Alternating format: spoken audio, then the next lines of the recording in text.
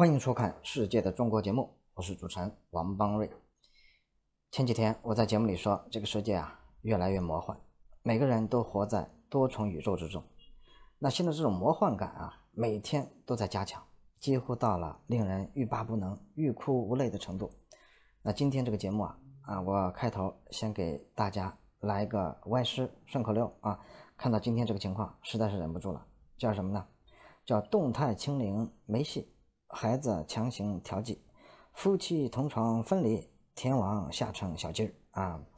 我们一个一个讲，为什么说动态清零没戏啊？这个真的是不以人的意志为转移。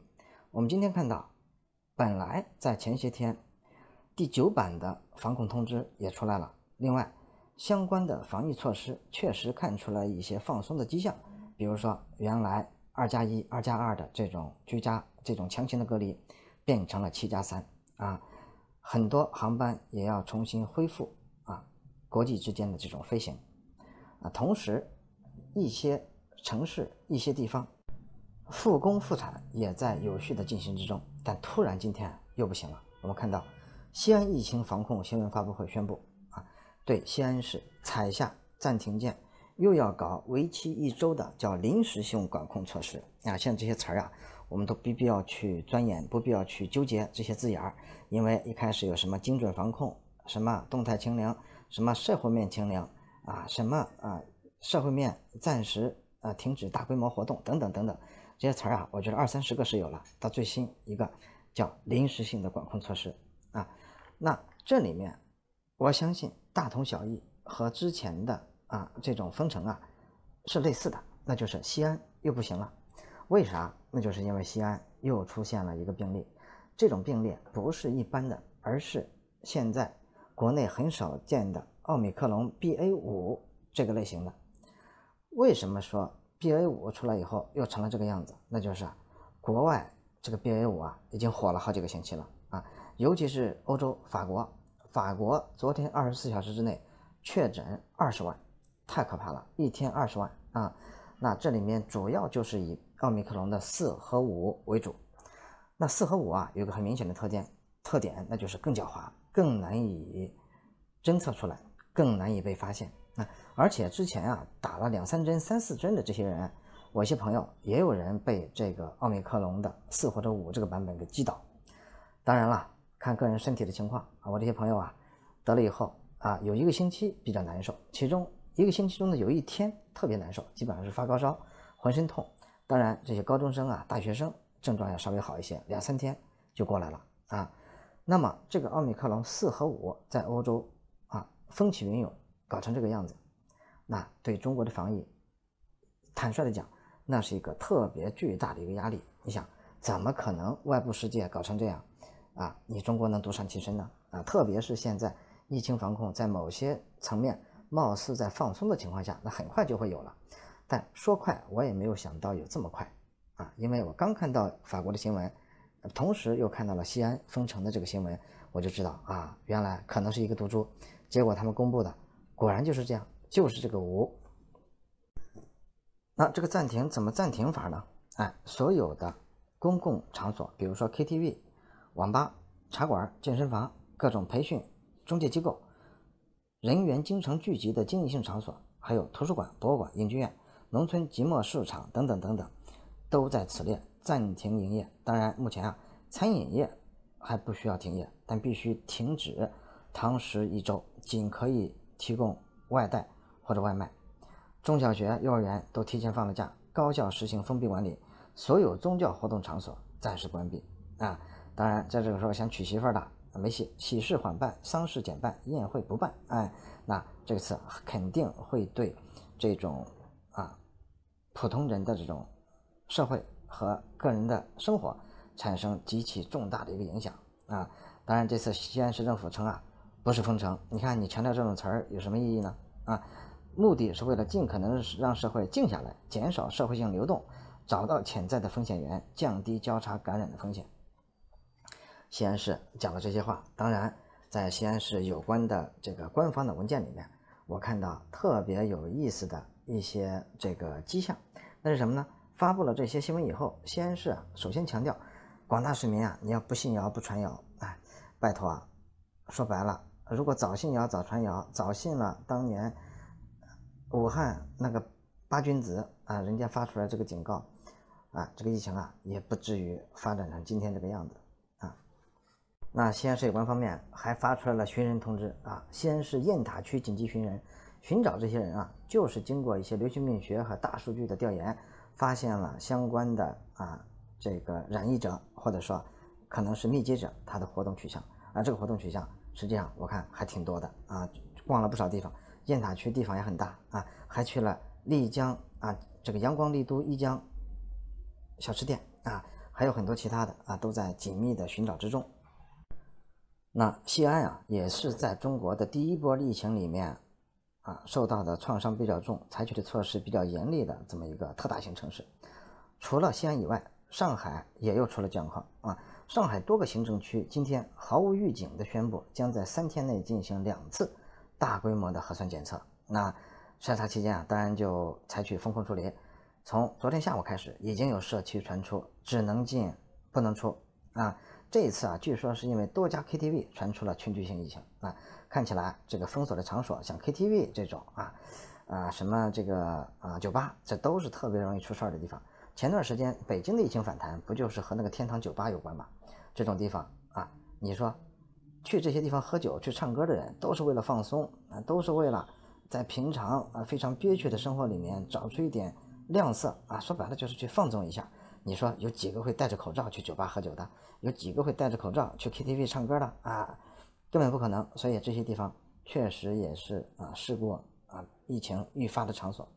那上海市这一次啊，实际上啊还是挺严格的啊，十六个行政区里面有十二个行政区要搞这个三天两检。而且这一次啊 KTV 这个事情啊有点蹊跷啊，咱也不知道这几个人咋想的。这一次的阳性病例和密切接触者的足迹，至少遍及五个行政区和六间 KTV。啊，你看这帮家伙。哎呀，满满上海找地儿唱歌啊，唱了六间 KTV，哎，这是到底是背后是什么心理啊？真的是值得琢磨。那真的可能啊，就是被疫情啊被憋得太久了，要唱啊就唱遍上海滩啊，就跟嗯前段时间这个啊北京疫情稍微放松点以后，我一个朋友啊他在北京，他说放松以后他上网，在北京二百多家饭店都订好了。每两天一次吃什么，或者是每天都去吃，一定要把失去的时间补回来。哎，你说就像我这个朋友跟这帮唱 KTV 要唱遍上海滩的这些歌手一样，你这不是找麻烦吗？你要是成为这种疫情的携带者或者是密接者，那你真的是叫超级传播啊！超级传播。我那个朋友如果他得了染上了这个病毒啊，他去二百多家饭店，你说这里染多少人？哎，这个东西就是这样啊，控制有控制的成本，控制。后期带来的反弹，这都是相互的啊，所以这一次上海人啊苦中作乐，说这是上海疫情三部曲的第三部啊，分别是什么呢？第一部叫华亭往事啊，今年三月，上海爆发大规模疫情啊，就是因为从华亭宾馆出来的第一个案例啊，那地方是疫情的爆发点，所以叫华亭往事啊，再然后呢是红玫瑰啊，为什么是红玫瑰呢？红玫瑰是上海的一家美容院。上海解封以后，又爆出群聚疫情的地点就是这家红玫瑰美容院，密切接触者将近五百人。啊，这一次啊，KTV 第三部，大家给它起名叫“我为歌狂”，啊，这帮人真够狂的啊！把唱歌能唱成这样啊，能唱成这个呃疫情第三波的始作俑者，那真是呃可以说也是一帮奇葩歌手。当然，这些措施啊，比起这个万恶的、松懈的啊，这个。啊，毫无警惕性的资本主义，那还是要估计啊要见效的多。因为你看法国一天二十万了啊，仍然政府只能建议一些事情。当然个别城市啊，像尼斯这种啊旅游型的城市啊，市长急了，说在公共汽车上、公共场所你必须戴口罩。哎，啊，我认为啊这也是对的。事实上，现在这些东西啊，病毒在变化啊，很多事情啊，你难以预测它最终发展的一个结果。比如说，有人说这个奥密克戎病毒啊，越发展它的隐蔽性越强，越容易传染，但是它的症状会越来越轻。但这一次这个四和五出来，好像不是这样，很多人的症状还是挺重的。所以对那些本来有基础病啊、年龄又比较偏大的这些人士，真染上了这个东西啊，挺能不能挺得住，真难说啊，真难说。所以啊，坚持戴口罩、洗手，恐怕是最啊有效也是最简单的一个预防的方法。所以我把今天讲的这个第一第一部分叫动态清零没戏吗？因为看到没，这西安才是刚刚发现了第一例或者头几例这个奥密克戎啊第五版，那不知道已经传出来多少了啊？那这种情况只会越发展越严重啊！那在国外的情况，他已经走出了深渊，该得的都得了啊，所以可能他会很快的走出来，或者至少社会上现在没有那种恐慌的。啊，非常恐惧的情绪，但在中国一下大家又陷入了一个深渊，所以我现在很怀疑国内我这些朋友的这个他的记忆曲线到底怎么回事儿前段时间受了这个罪还不够吗？哎，刚刚消停了一点儿啊，判了三个月有期徒刑，全体上海人，你看这下又来了，又开始要疯，难道你真的这样一辈子这样这样折腾下去吗？啊，这也是为什么这种恐慌情绪传染到了全中国啊！前几天你看。这个北京市委开会，啊，北京说了，这个将来几年啊，要坚持这个呃动态清零这个措施。人家呀，呃，据说蔡书记没说那个五年啊，结果让这帮记者用这个模板给套上了五年这事儿，一下啊，五年这个事儿又成了一个呃当天最流行的词儿啊，把大家搞得七荤八素，心里害怕，不敢想象以后五年啊还要这么过啊，还要这么过。那关键的问题是，如果你不放弃动态清零啊，不放弃这种极端的。没有什么科学依据的，很二的啊，这种抗疫思路的话，坚持五年可能不是梦哎，它很有可能是五年啊。请问，如果奥密克戎最后就变成了流感病毒，流感这不几十年了，你也没消灭啊？那如果你用现在这个态度来对付一个超级大流感，那可能不是五年，可能会是十年啊。所以这种情况啊，不但给老百姓提出了挑战，给这些防疫当局提出了挑战。那更关键的，是给习主席提出了挑战啊！你看，你刚说的言犹在耳啊，坚持就是胜利啊，坚持就能胜利啊，等怎么样？现实证明啊，你得看什么事儿啊？共产党就怕认真二字嘛。马马克思主义讲的啥？叫辩证唯物主义，什么事儿你得辩证的看啊。那如果你能摁住他，那当然好。你现在不是摁不住吗？全世界也都摁不住，除非你能彻底的闭关锁国，你跟北韩一样。把边境封上啊，谁也不准来了，那可能能把后边的这个五啊、六啊、七啊、八啊、十啊，可能能减缓一点。但即使这样，北韩不也是已经有疫情了吗？那你现在国内的这个经济形势这么差啊，二十大又要开，那最关键的是，拜登这孙子啊，前两天又放出风来，今年说无论如何我们的经济增长速度会超过中国。哎，中国那边也马上怼过来了，说不会啊，中国速度不会低于五点五啊，一定会超过美国。那你这这都怼上了，呃，请问？奥密克戎后面这些变株都来了，你难道会再次关上国门吗？啊，这一切都不以人的意志为转移，那更不用说像李强书记这样的啊，还没怎么着呢，就宣布又取得了决定性的重大的胜利啊！你胜个鸟啊胜啊，胜啥呀？啊，坚持有时候就是愚蠢，坚持有时候就是二逼，坚持有时候就是啊拿人不当人啊！所以在这种情况下，我们不知道哎。我们中国目前这样一个动态清零的举措，还要坚持多久？反正我看啊是没戏。这就是我们讲的第一段，叫动态清零没戏。那这个夫妻同床分离啊，同房分离是咋回事？其实也和这个风控有关。上海最近风控小区啊，手册都出来了啊，这方面做的很很细致。你看，上海说要求七天内足不出户，尽量做到一人一室，与同住的人啊保持一定的距离。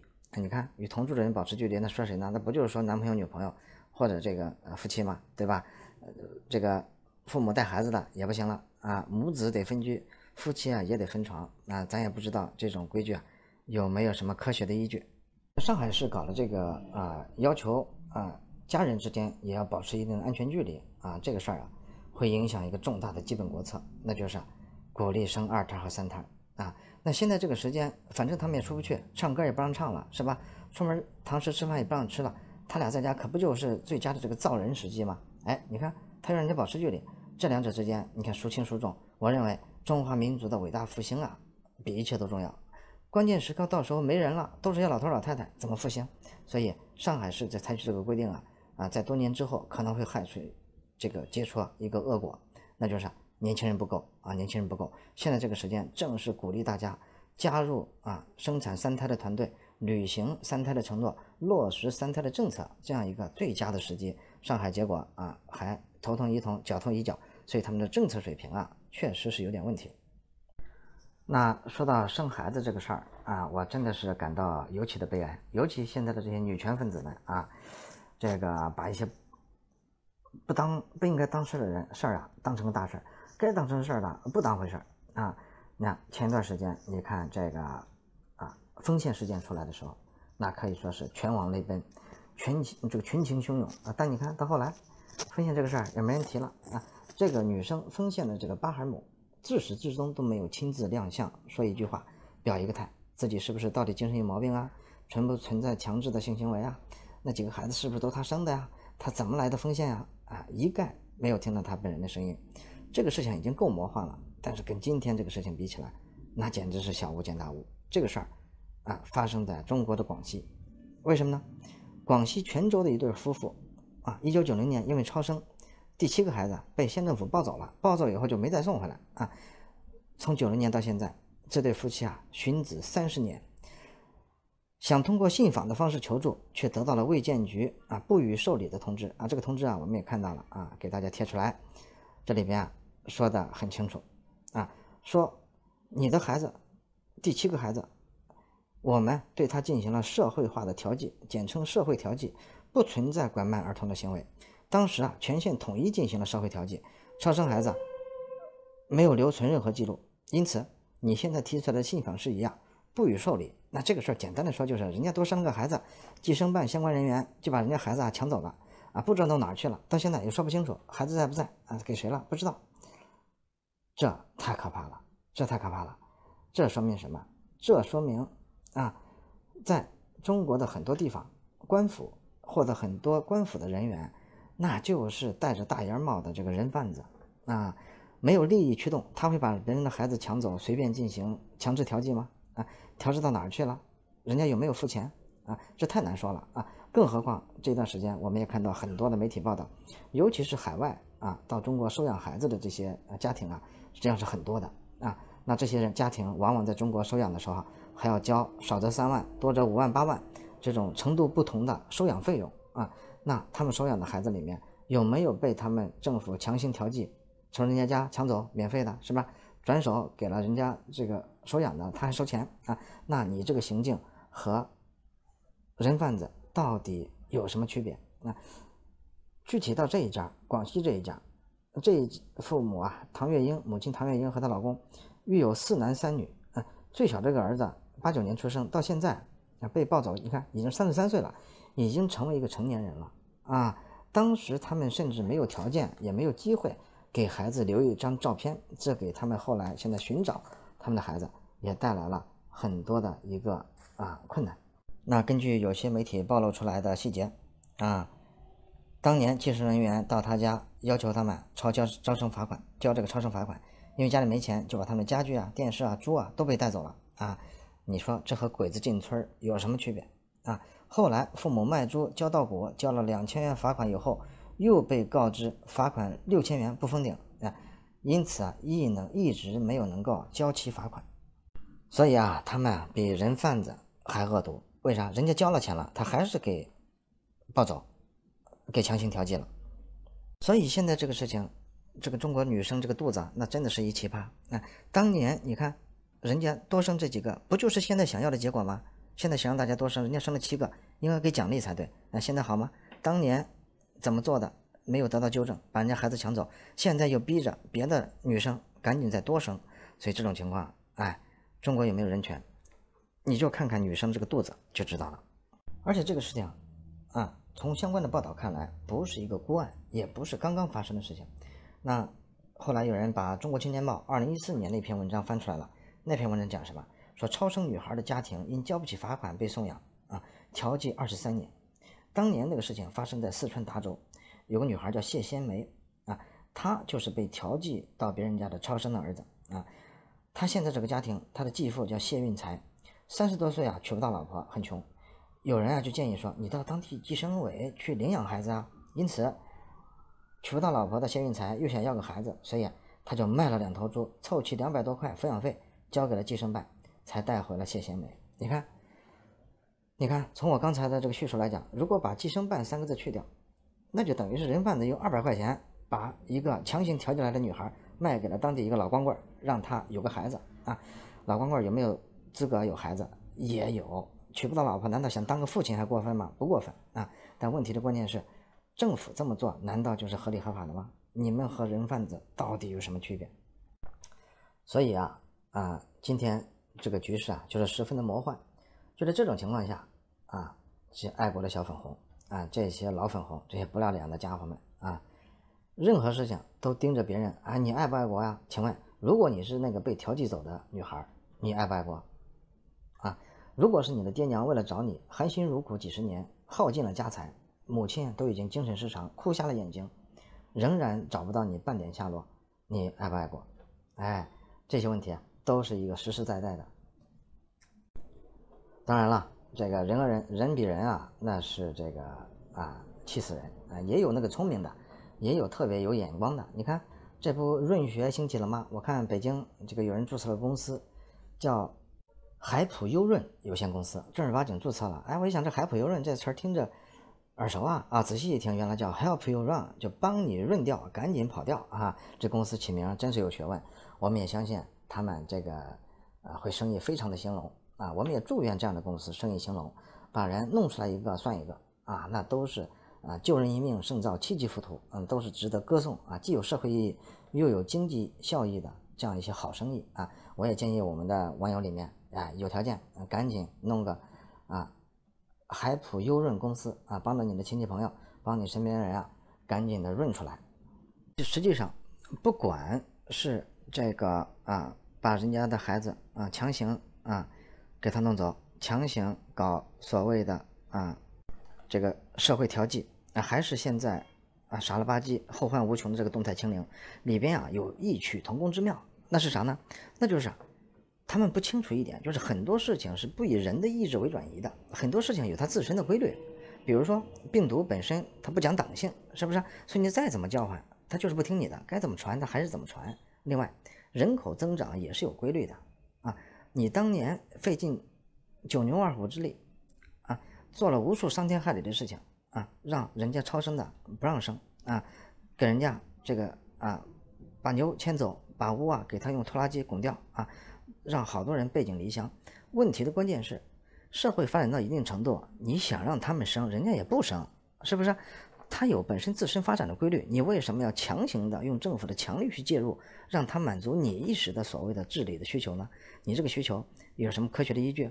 啊，你的手段和目的真的是统一的吗？你想做这个事情真的能达到那个目的吗？没有啊！今天这一切，不管是动态清零，还是把中国女性的肚皮当成拉链儿啊，想拉上就拉上，想撕开就撕开，这一切都是权力作祟，都是这个权力的傲慢在起作用，哎。所以这两天我看有一个朋友还跟我说，说这个动态清零要能够成功啊，他说他改姓姓习啊，我说你也改姓习，你也配姓习，我说我如果动态清零能成功，我这个王邦瑞王字我倒过来写。那最后一节呢，我们就讲讲啊这个天王下成小鸡啊，天天怎么下完小鸡的？这个天王啊是当之无愧的啊四大天王之一，那就是歌神啊张学友，我是听他的歌长大的。那在我印象当中啊。张学友是一个爱国歌手，以前在很多时候也表态过重大的议题上表过态啊。但这次啊，不知道为什么又惹了麻烦。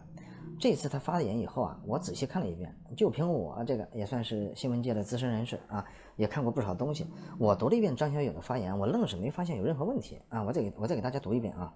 他说：“香港这二十五年经历了很多高高低低、起起伏伏，但因为我是和这个城市一起成长的，我在这里出生，在这里长大，我仍然相信这个城市。”仍然希望这个城市会变成一个比以前更加好的城市。香港加油！哎，你看没问题啊，说的挺好啊。哎，后来我把这一段请教一个老领导，我说领导怎么回事啊？我觉得张学友说的没问题啊，哪有什么反动内容？哎，领导当场就训斥了我说：“你看到海外来以后，政治敏感度就是不行了。”那领导怎么跟我说的呢？他说：“没有党就没有国，没有国怎么会有港？”张学友发言的时候不谈党和国。孤立的谈爱香港，这是人为的割裂香港和祖国血浓于水的关系，人为的去淡化香港的繁荣稳定和发展，必须背靠、必须感恩伟大祖国和我们伟大的党的这一事实。你看，领导说的有道理吧？领导说的都有水平啊。张学友人为的淡化了香港的繁荣稳定，必须背靠背，必须感恩祖国、感恩共产党的这一事实啊。不把它说出来，孤立的讲香港加油，你这就有港独的嫌疑啊！哎呀，我听了以后是哭笑不得啊，后背发凉啊！我想，如果按照这个标准的话，我连早上吃个早饭都没法吃了。为啥？你比如早饭，小摊上卖韭菜盒子、肉包子、茶叶蛋啊，我呀今天早上就吃了这个啊韭菜盒子，哎，马上肉包子和这个茶叶蛋不服了，说。这么多东西，你就捡了这个韭菜盒子？你是看不起肉包子和茶叶蛋吗？啊，你是不是打心眼里歧视我们这些这个爱吃这些食品的地方？哎呀，就没法说了。实际上没什么别的原因，就是当天吃饭的时候看见的韭菜盒子挺喜欢，丝毫没有鄙视、歧视、看不起那茶叶蛋和肉包子的意思。但是你架不住肉包子和茶叶蛋，他想的多呀。哎，同样在这个事情里面，哎，人家说香港加油怎么了？难道说香港加油没？前面套上一一通这个官话，就意味着他否定那些事情吗？实际上，在后来啊，张学友在接受采访的时候，也正式予以了澄清。他还正式表态说自己是一个爱国家、爱香港的中国人。但是啊，作为艺人，不涉政治是我的基本原则啊。他说我在上香港出生，香港长大，也希望在香港老死啊。他说正是因为我跟香港缘分如此之深，我见证了香港最黄金、最辉煌的时刻，而现在的香港实在是啊。差强人意，特别是在过去的几年里，香港经历了黑暴，紧接着就是疫情，百业萧条，人心惶惶。香港正是需要努力加油的时候啊！你看人家讲的有什么错啊？啊，讲的有什么错？那同时，张学友也提出一个要求，说希望我们中国人是理性的，是以理服人的，在世界人面前展现中国人的风范啊！你看这隐含着的意味啊！要想这个诛心之论的话，仍然有。那意思就是，你说我们这些小爱国者、小粉红、老粉红，难道在世界人民面前丢脸了吗？哎，要想揪下去，哎，这个张学友恐怕啊还会惹上一身骚，撇不清。更关键的是，如果这仅仅是民间的反应也就算了，张学友说香港加油以后，央视竟然把对他的采访给删除了，这就证明央视认为也有问题。哎，你说这就奇了怪了，难道央视说爱国和人家张学友说爱国就有什么区别吗？哎，那如果此风啊继续涨下去的话，那不光是张学友了，那有问题的多了啊！当然不包括刘德华呀、成龙啊啊这些人啊，他们在台上在那个台上高唱那个黄色歌曲啊，不对，高唱那个爱国歌曲，对吧？那也是这个一大景观。关键是你看，像周润发、像梁朝伟，他们肯定也得特别紧张。为啥？我没有看到周润发在公开场合啊表达过他爱党爱国的立场，他没表达过。啊，这里面他不表达就有问题啊，因为在这个重大的历史时刻、重大的是非面前，不表明态度，那本身就是一种态度啊。所以啊，周润发有问题，那更别说梁朝伟了。梁朝伟的老婆是吧？啊，是在很多时候那是很上进的、很很很红的，但他本人没有在公开场合啊怎么表态过，也有问题。那更何况他还演过那个反动电影呢？那个《色戒》，《色戒》这个电影极其的恶劣啊，梁朝伟就代表了一批。啊，代表着帝国主义，代表着反动军阀，代表着特务势力那种最阴暗的男人心理。为啥？你看他在《色戒》里面，他竟然作为一个特务头子易先生啊，他啊整到最后啊，就用一枚钻戒获取了俘虏了我方优秀的女共产党员啊，王雅芝啊，王佳芝对吧？叫王佳芝吧？哎，还把人家给睡了啊，还把那些睡的镜头啊拍得栩栩如生啊。据说这个张汤唯和梁朝伟啊。在那场戏里面呢，没有用替身，是真干了啊，真干了啊！梁朝伟和这个啊，这个汤唯啊，也都没有否认过。这是什么心理？你是要让女共产党员身与名俱灭吗？啊，你不但把人家最后给毙了，你还把人给睡了啊！你还搞得这些大陆的女富豪、女单身、女粉丝、女屌丝啊，女权主义者们啊，坐着飞机专程去香港看没有删节过的《色戒》，专程去看。梁朝伟的这个光屁股，啊，所以梁朝伟的错误，我看要比张学友要严重一万倍，必须被绳之以法啊，绳之以法。啊，我们看看后面的发展，也会给大家带来第一时间的点评，谢谢您，我们诚挚的欢迎您给节目点赞打赏啊，也欢迎您把它分享给更多的朋友，谢谢。